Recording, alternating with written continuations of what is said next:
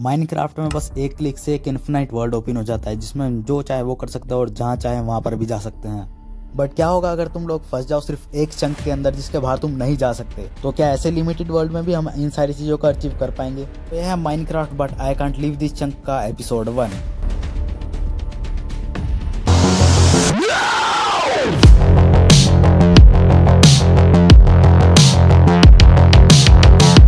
तो अगर आप चैनल पर नए हो तो सब्सक्राइब कर लो, क्योंकि ये सीरीज़ बहुत ज़्यादा औसम होने वाली है।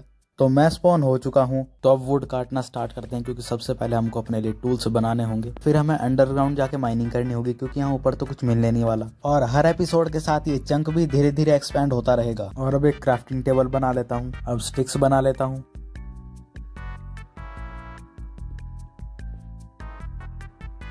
तो उनके टूल्स बना लिए हैं मैंने। तो अब खाने का जुगाड़ करना होगा। तो यहाँ पर जितने भी पेड़ है मैं सबको काट देता हूँ क्योंकि इनसे मुझे एप्पल मिल सकते हैं। तो यहाँ पर एक शीप आ गई है। अब आ गई है तो बाहर नहीं जा सकती। तो फाइनली मुझे एक एप्पल मिल गया। अब मैं माइनिंग करने चला जाता हूँ। इतनी ज़्यादा माइनिंग करने के बाद मुझे कोल ही नहीं मिल रहा। लगता है इस चंग में कोल ही नहीं है।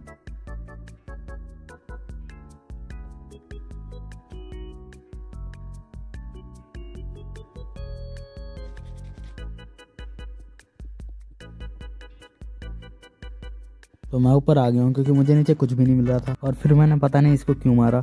मेरे फालतू में इतने ज़्यादा हट गए। ऊपर चल के देखता हूँ कि आसपास क्या है। तो वहाँ पर एक विलेज है। वहाँ पर पता नहीं मैं कितने एपिसोड के बाद पहुँचूँगा। तो यहाँ पर दूसरी शिप भी नहीं आ रही। और मैं दोबारा से माइनिंग पे चला जाता हूँ क्या आपका आयरन मिल जाए मेरे को।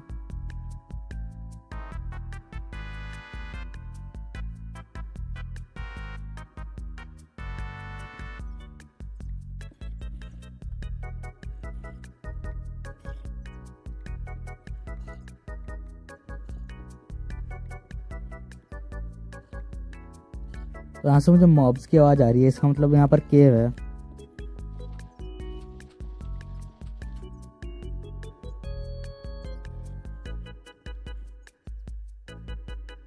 यहाँ पर लैपिस है, पर एक कोल नहीं है यहाँ पर। ट्वेंटी वन लैपिस मिले हैं मुझे यहाँ से।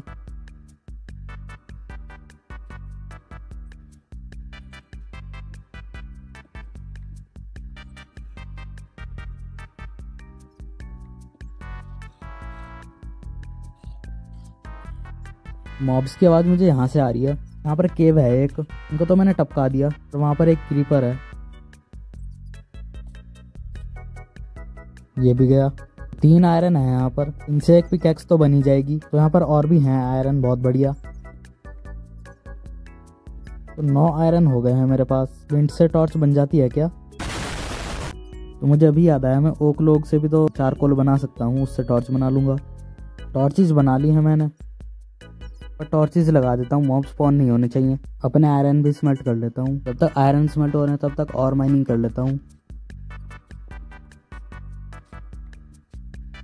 यहाँ पर एक और केव है।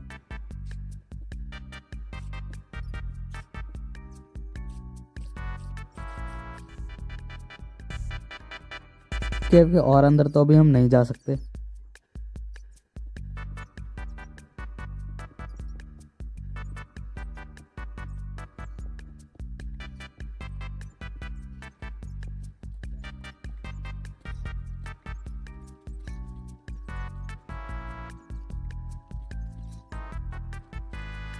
पर चल के देखता हूँ। मेरे आयरन स्मेल्ट हो गए होंगे। आयरन तो स्मेल्ट हो गए हैं। इनसे एक शील्ड बना लेता हूँ। तो अभी मैं और चार कोल बना लेता हूँ। बिकॉज़ मेरे पास सिर्फ़ अभी दो ही टॉर्चेज हैं और केव में जाने के लिए मुझे और टॉर्च चाहिए। तो यहाँ पर रेडस्टोन है। इसको माइन करने के लिए एक पिकैक्स बना लेता हूँ।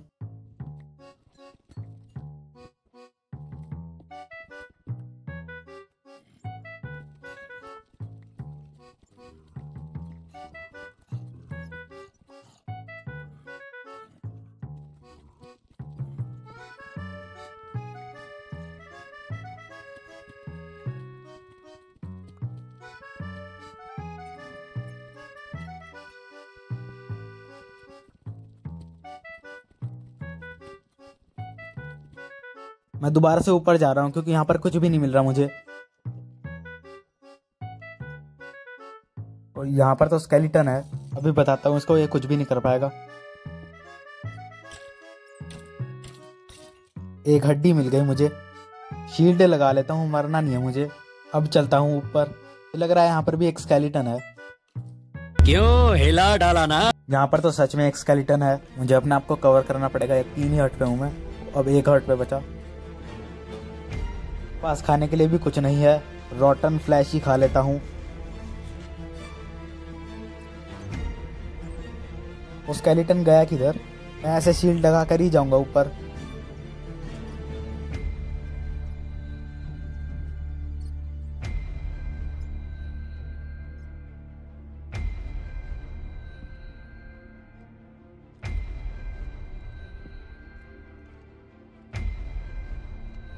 यहाँ पर एक और स्केलेटन है। अगर मैंने शील्ड हटाई तो मैं मरा। फाइनली मार दिया इसको। अब ऊपर और स्केलेटन ना हो बस।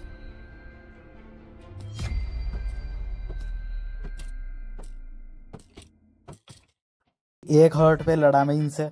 प्रो हूँ ना इसलिए। झूठ बोलो। मैं ऊपर आ चुका हूँ पर यहाँ पर अभी तक दूसरी शिप नहीं आई। और मुझे खाने का जुगाड़ करना पड़ेगा। एक ही हट पर हूँ मैं। अब तो इसको मारना ही पड़ेगा। निकल। एक ही रॉ मटन दिया इसने। अब मैं स्मोकर बनाऊँगा खाना पकाने के लिए।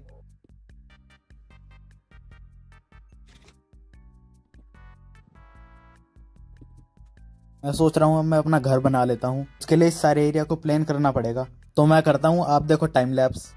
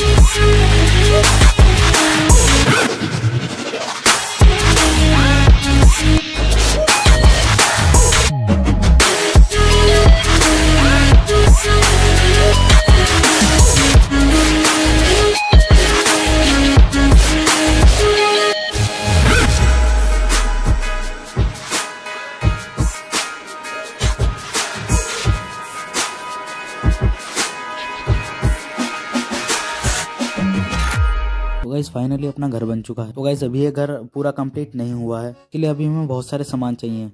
जैसे कि बेड तो उसके लिए वूल चाहिए और वो हमें अगले एपिसोड में मिल सकती है। चारों तरफ़ टॉर्चेस भी लगा देता हूँ।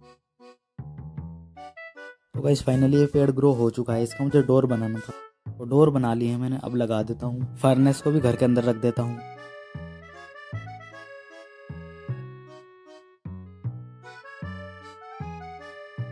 ये था Minecraft but I can't leave this chunk का एपिसोड वन कमेंट्स में बताना आपको एपिसोड कैसा लगा. Thanks for watching